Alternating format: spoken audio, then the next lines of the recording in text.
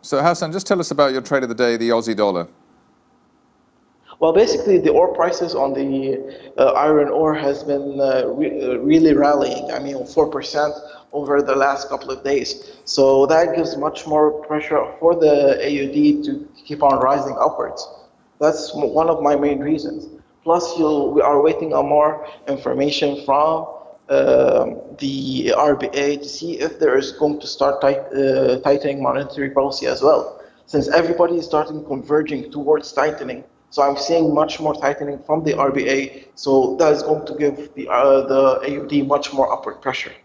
Right. So uh, for the time being, we go with the trend and the flow at the Aussie dollar.